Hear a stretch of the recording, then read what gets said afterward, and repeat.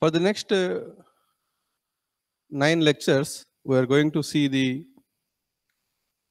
automata theory, which is the last module of this course.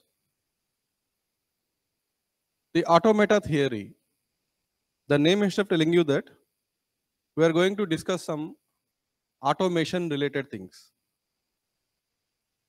Now, if I ask you the question, what is the difference between the computerization and automation? What, the, what is the answer you can say? If I ask you the question, what is the difference between computerization and automation? Ha. so if you look at computerization, you, you may be seeing that uh, this is a fully computerized bank. Even though it is a fully computerized bank, you will find human resource there to operate the devices. Okay, but uh, whatever the manual system they are doing, it may be eased with the help of computers. While coming to the automation, there is no involvement of human resource. Automated teller machine, ATM. No person will sit there and will check your bank account. Everything will be done by you. Finally, you will receive the money. At the same time, you will deposit money that will be deposited into your account. These kind of things are said to be automation. So we can compute, we can consider the computers uh, are the part of the automation. So we are going to see mathematically how we can design the computing machines. This is what the automata theory is all about. Whatever the whatever the things like uh, computer or interpreter, these kind of things that you consider for programming and execution, the compiler will not take any external inputs. It only take the program and will compile uh, the program and will give the machine understandable format. So compiler is one which will convert the high level language to the machine understandable form. Right? So here compiler has to be an automated one that will take the entire program and will give you the final output. Here user will not interrupt uh, the compiler. Like that, there are many other uh, system softwares where they have to work in its entirety. Such system softwares can be considered as a automated mission. Whenever these automated missions are there, they will not take any input from the, uh, the human resource is not required for operating that. Uh, for example, uh, coffee tea vending machine. Here no person will sit there. Only thing is you need to deposit some amount like 5 rupee coin or 10 rupee coin depending upon the uh, rate they fixed. Okay, just you deposit that um, uh, uh, coin automatically you will get that much 150 ml or 100 ml of uh, tea or coffee. So this is a completely automated mission. Only thing is you are supposed to supply the input and you will get the output. This is the only thing. Here no person will sit there, automated vending machine like. So like that, we are going to see mathematical representation of uh, the computers, which is the part of the automata theory. So where this automata theory has been started? Actually, this theory has been started by Alan Turing. During the Second World War, he is a German scientist, a German mathematician. Uh, based upon based upon his uh, uh, mathematical abilities, okay, he developed a co, uh, he developed a machine called Turing machine, okay, which is a mathematical machine which is especially used to break the many secrets. Okay, so during the Second World War, there is a powerful secret uh, has been developed which cannot be cracked, uh, which is called Enigma code. That Enigma code has been used for encrypting the uh, the weapons, and uh, that particular Enigma code has been broken by the uh, Alan Turing using his mathematical model. So the Alan Turing machine is said to be the computer machine. Now whatever you are doing, uh, it is a realization of the mathematical machine of Turing machine is the normal computers that we are going to see in a physical form. So he is also considered as the uh, father of modern computer and also the uh, the founder of the artificial intelligence. So Second World War has given us uh, two different fields. One is cryptography and second one is this uh, automata theory. So we are going to see uh, the mission structure in mathematical form. And anyhow, the mission will take some inputs. So we are supposed to talk with the computer. We require a language. If two persons wants to communicate, they, they require a language, a common understandable language. We are going to see different uh, mathematical missions or automated missions and what are the languages accepted by those missions. Turing mission is a top level mission which will accept any kind of language. So computer is one which will take any kind of language and will finally convert into the mission understandable form. So we'll see one by one these concepts. A machine that recognizes one or multiple languages. So you can consider yourself as a mission. You may understand or recognize multiple languages. Performs useful work when given instructions in the recognized language. Has a capability of processing the instructions or input to solve a set of problems. May not be all problems, but set of problems. The reason is every mission cannot do all tasks they have some limitations.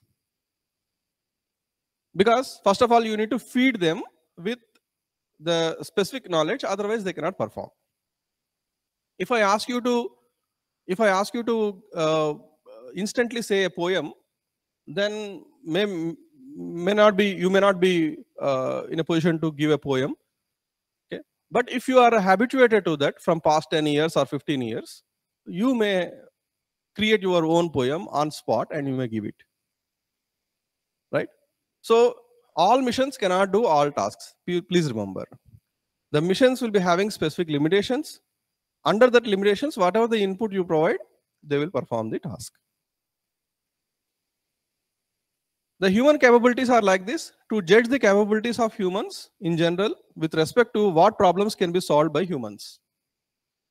So even though humans are intelligent, we feel that uh, but we are not that much intelligent. We cannot solve many complex problems. Okay. So even though in air we have the FM signals, but we cannot see that FM signals unless until we have a device to capture the FM signal. Right. So even though we have many signals nowadays, we cannot view that. Okay. So we require specific machines to capture those devices. Okay. Even though we are so much intelligent, we can listen up to some decibels. We can't listen more than that decibels. So the human capabilities are limited. Okay. We cannot experiment with all, all humans. We could like we would like to develop an abstract model of human. The processing model, especially, it's an abstract model. A set of problems that can be solved by the human. If I ask you, uh, if I say hello, then how you will recognize it as a hello. That means these alphabets must be known to you. Then only you can recognize. What are the alphabets I have used? H, E, L, L, O. So whenever I say hello, automatically you will interpret as, okay, if you know perfect uh, uh, that particular language, then you will interpret as H, then E, L, L, O. So after these five stages, you will come to know that this is hello. Right? So every stage you need to remember. If you won't remember H, okay, the entire meaning will change. Okay, even though you, you won't remember L, the meaning will change. So you have to remember continuously the five characters, then only you will come to know this is the word called hello. Right? In the same way, how can we model the same uh, like how human will uh, interpret a particular word or a, a input okay the same thing we are going to represent in mathematical way which which will be a stepping uh, stepping for developing a full level automated uh, automations or automated machines. Recognition of a language. This is what is called a problem itself. So what language to be read or what language to be recognized? In order to recognize the language, first of all, you should know the alphabets of that language. Otherwise, it is very difficult for you to recognize that language. Hence, a language is equal to problem. That is a problem to be done. Is language X recognized by the machine? Is the problem X solved by the machine? These are the questions need to be posed. We will focus mainly on this simple problem with respect to computers.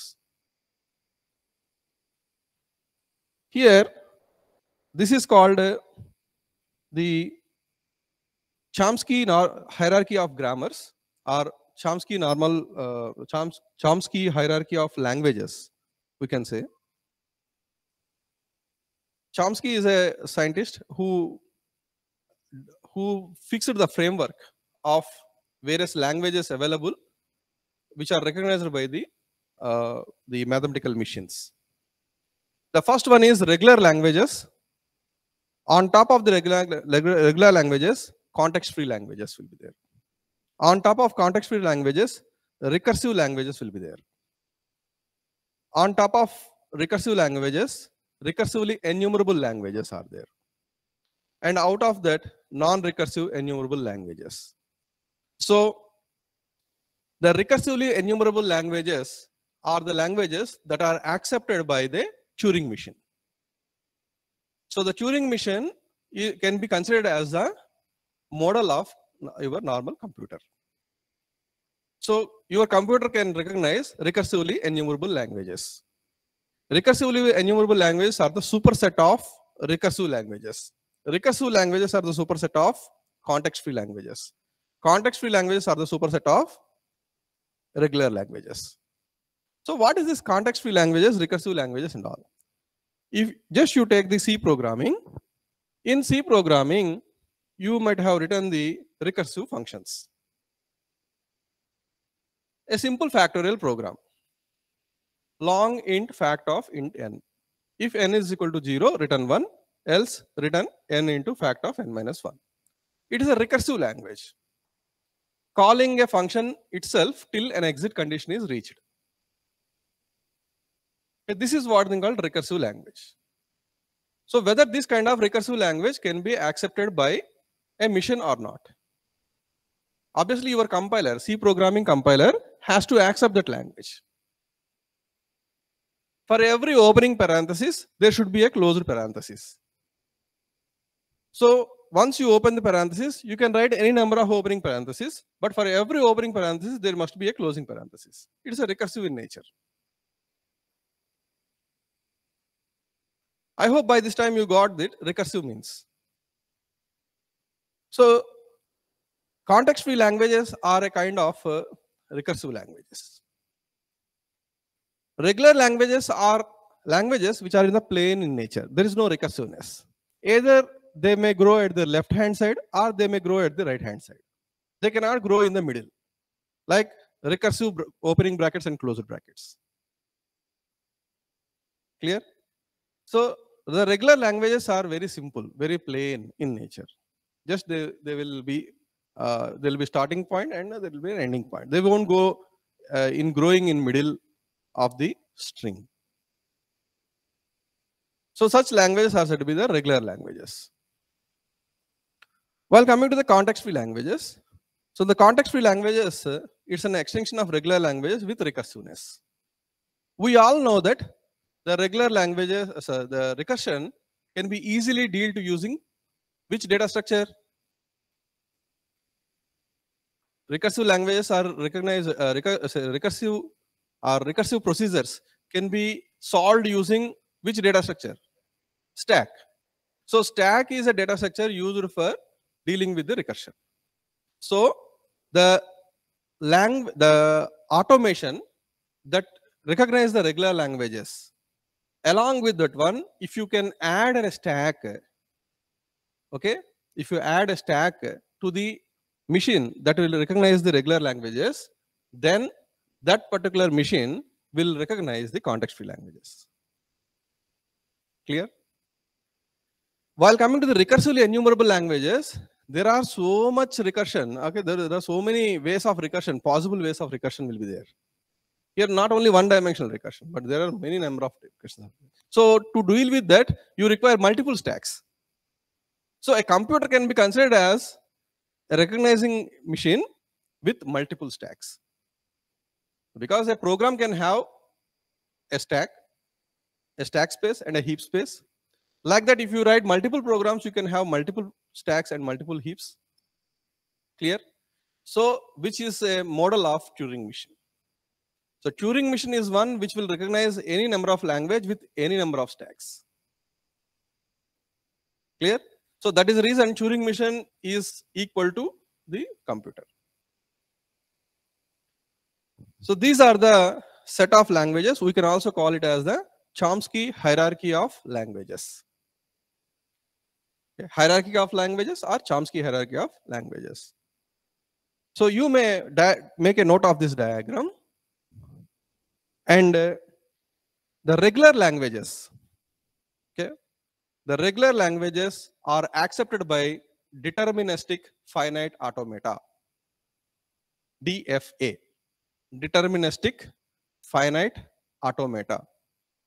So you make a diagram of this in brackets, uh, just against these uh, regular languages, you may put an arrow mark and you can write the uh, automata that will accept these regular languages is deterministic finite automata. The name itself telling you that deterministic. What is meant by deterministic?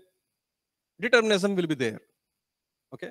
That means if you take an input, where what is the next coming, what, where it will be going. There is a determinism. If you turn on the switch, which fan or which light will turn on? There is a determinism. If you turn on the switch, okay? But all of a sudden multiple lights will glow and multiple fans will run. Then it is non-determinism. You cannot fix. So you you for one input there should be a possible one state. If it is so then it is determinism. Otherwise it is non-determinism. So the regular languages are accepted by which machine? Deterministic finite automata okay Next one is context-free languages. So DFA plus stack, deterministic finite automata, plus if you add stack, then it will recognize the context-free language. Such, such languages, context-free languages are accepted by push-down automata. PDA, push-down automata. Push-down means whenever the symbol comes, push it into the stack. Clear? Whenever the symbol comes, whenever the alphabet comes, push it into the stack. If the open bracket comes, push into the stack. If the close bracket comes, push into the stack. Open bracket, close bracket matched, take it out of the stack. Right? So such automata is said to be the push down automata. Next, recursive languages are accepted by linear bound automata, LBA. Linear bound automata recursively enumerable languages are accepted by Turing machines. Okay? Turing machines. T-U-R-I-N-G. Turing machine. Alan Turing. Okay? Alan Turing is the one who developed this machine, Turing. Like, like other uh, fields of uh, study, we have Uh, the top level prize for the recognition of their scholarship called Nobel Prize. So in computer science and mathematics, there is no Nobel Prize. Okay. In mathematics and computer science, there is no Nobel Prize. In computer science, we consider Turing Award as the Nobel Prize. This Turing Award will be annually presented by the Association of Computer Machinery, ACM. So whatever the Nobel Prize, the amount, okay, same kind of amount you will also receive in case of Turing Awards. Now, I think you got the idea of the languages. The regular languages are in plain in nature. They are accepted by deterministic finite automata. While coming to the context-free languages, regularity plus stack, okay, which are accepted by push-down automata. Recursive languages are accepted by linear bound automata. Recursively enumerable languages are accepted by Turing machines. Out of all these things, whatever the programming languages we take, especially like uh, the structural languages, they all follow the context-free languages. They are mostly are of type context-free because you take any programming language that you, that uses recursion. Okay, some any kind of high-level languages like C, C++ are recursive in nature. So in context-free languages also, we have the certain style of grammar, okay, certain style of grammar that will recognize a particular language. Like for example, if I ask you, uh, what is the syntax of uh, if statement? If bracket open, condition, bracket close, then square uh, flower bracket open, statements, flower bracket close. Now here flower bracket is optional because if you have only one statement, flower brackets are optional. While coming to the condition, you may have a single condition or combination of conditions. This entire thing will be represented as a grammar. This entire thing will be represented as grammar and will be fed into the compilers.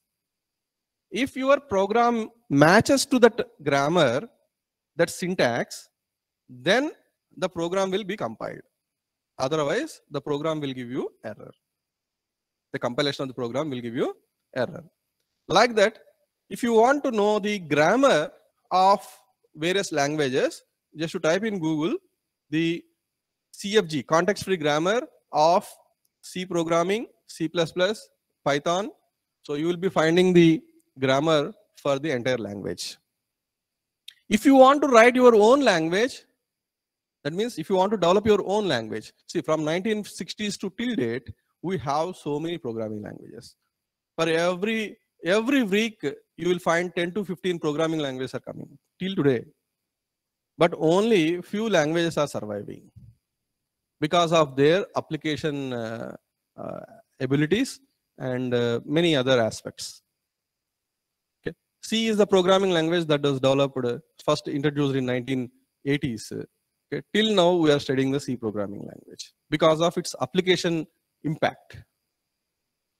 So every week you will find, every day you will find some new languages are coming, but only few are surviving because it, it may not satisfy all the features, all the requirements which are, which are uh, used by the programmers today.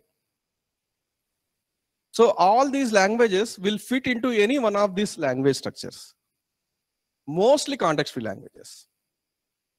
So that is the reason, just you type in Google that what is the uh, language, context-free language for the uh, the programming languages like C, C++, and Python. So we all know that computers cannot recognize the languages. We require special training. We need to perform special training for the computers to know that language. So for that, we need to feed the grammar and we need to develop the system software like compilers. Right? So how a human can talk to the computer? Like Alexa or OK Google, this kind of things. Those are computers only. Okay, you may call it as Alexa or you may call it as uh, computer like that. You can fix whatever the uh, preamble that you want to call with that particular machine. Now, a human want to talk with the machine, then it should be human computer interaction. For talking computer or for talking with the computer, then you require a language. Okay, you may use a tongue twisting statements to talk with the computer. How it has to recognize. Okay, do the natural languages or natural language based grammars are suitable to use with the or develop the programs with to perform the talking computer? This is the big question has raised because we all know that natural languages are ambiguous in nature. If you look at the English as a language, BUT is but, PUT is put. Okay, no KNOW. So both are the pronunciation is same, almost same. So in such a cases, this ambiguity, how this ambiguity can be resolved and how you can develop the talking computer. This is the big question mark. People have done a lot of research on this. If you look at the time of the 1980s to 95, 96, uh, till recent times, so many research papers you will find how to develop the grammars, especially for the talking computers. Clear? So, first of all, you need to resolve the ambiguity. Then only you can feed it into the computer. So, in order to resolve the ambiguity, we all we have already seen so far the most of the languages what we are going to use will fit under the context free languages. The context free languages may also have ambiguity. You cannot say that context free languages will not be having ambiguity. They will be having ambiguity. If I say a statement like, uh, a simple statement, just with some small change in the uh, representation of a small symbol, the entire meaning will change. In a court of law, the judge have pronounced a death sentence like this, hang him, okay, not live. Hang him, comma, not live. While typing, hang him not, comma, live. So just by placing a comma instead of, okay, in the place of hang him, after hang him, they placed after not. His entire life was changed. So just by placing the symbol, okay, the entire meaning was changed. Okay, if I if I say Rama went to village, so I need a strict syntax. Rama went to village. I cannot twist that particular statement. It's a fixed one. But if you talk with the computer, you must be somewhat in a relaxed position. So if I say, if I say, Alexa, play something. Okay, Alexa, play this one. Or Alexa, do play, do can you play this one? So many ways of representing this. In such a cases, only the talking computer can be more effective. If you make the syntax as rigid and um, and ambiguous, then you cannot develop any language like that. So, so many research happen. But unfortunately or fortunately, we may be knowing a language from ancient times, which is by default unambiguous in nature, which is called Sanskrit. Sanskrit is the only language in the world which is completely unambiguous in nature. Okay?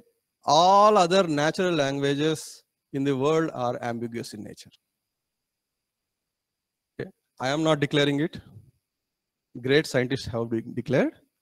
So you may type in Google knowledge representation of computers in Sanskrit by Rick Briggs, a NASA scientist has written this, this research paper in the Artificial Intelligence Journal in 1986. Okay. Knowledge representation of computers in Sanskrit. I hope in this entire, I think in India, no, man, no one have praised the Sanskrit like that. If you look at uh, the conclusion of the paper, you will get tears from your eyes. Okay. In such a way, he explained the beauty of the Sanskrit. Okay. and uh, he has shown that no other language is required to develop for talking computer if we can follow the Panini grammar of the Sanskrit as it is, okay, it is sufficient for us to develop the talking computer. So which is by default in the Backus norm form of the context-free grammar. Backus norm form means norm for normal forms will be there. Actually, whenever the data is very impure, you will do for filtering of the data so that it will come into the pure form. So for this, you will apply some normal forms. In databases also, you will be having the normal forms like first normal form, second normal form, third normal form, so that the relational database will become very clear. And finally, you will be having the uh, perfect relational structure. Like that, if you have given an ambiguous grammar, you will be applying normal forms on that. Okay, the purest form, which is called Backus norm form, which is anom, uh, non-ambiguous in nature. By default, Sanskrit Panini grammar is in the Backus norm form. So if I say Rama went to village, whatever the languages developed with the help of Sanskrit or on the basis of Sanskrit are almost having the same kind of features. So almost all, Indian languages are having same kind of unambiguous features. But anyhow, some grammar differences will be there. But if you look at the Sanskrit, like Rama went to village. So if you look at in, if you turn it into Sanskrit, Rama went to village. Ramaha gachati gramam. Okay. Ramaha gachati gramam. Gramam gachati Ramaha. Gachati Ramahar Gramam. Any combination will convey you the same meaning. If I ask you, okay Google, weather Noida, okay Google, rain Noida, Noida rain, Noida temperature. See, any combination, it will give you the same meaning. But if I take you, if I give you a language called English, Rama went to village. Village went to Rama is awkward. You cannot go for flexu uh, uh, flexibility in the language uh, declaration. But Sanskrit is the only language in the world which will give you the unambiguous representation and have many number of synonyms. An elephant, if you want to represent elephant, 96 synonyms are there in Sanskrit for representing elephant. So finally, we'll see the what is meant by automata theory, study of abstract computing devices or machines Automaton is equal to an abstract computing device. A device need to need not even be physical hardware. It's a general representation in kind of mathematics. A fundamental question in computer science to find out what different models of machines can do and what they cannot do. So that is what the theory of computation is. All pro, all algorithms cannot be run on computer. Okay. So you may run several computer, several algorithms, which are called up to NP complete. But NP hard kind of algorithms you cannot uh, run with the or solve using the computer. So what can be done, what cannot be done. That categorization is, uh, is given in the theory of computation. So we'll see the automata theory terms and what are the different automata uh, machines that are available and what is by regular language and uh, the deterministic finite automata, non-deterministic finite automata, automata with the output. These are all the things we'll see in the later lectures.